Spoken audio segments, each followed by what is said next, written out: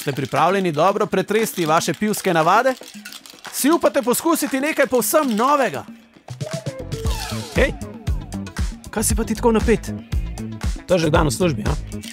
Mojemu kolegu pri stresu ful pomaga yoga. Res, večkrat se zgodi, da pokliče šef in vpraša, kje pa je miren? In vedno isti odgovor: Jo, ga pa že ni več. Nobenega stresa ti povem.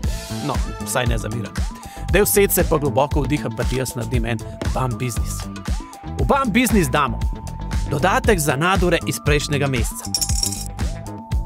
Uspešno zaključen projekt in podaljšan vikend na strokovnem seminarju. Okrasimo s poročilom za morebitne stranke, vse skupaj zapremo, premešamo in postrežemo dvakrat do trikrat na leto.